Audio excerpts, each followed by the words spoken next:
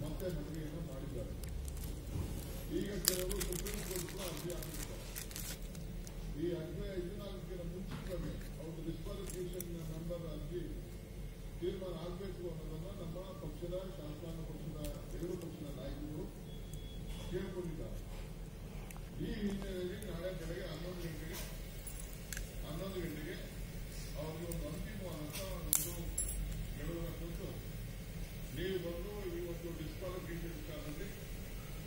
Aleluya.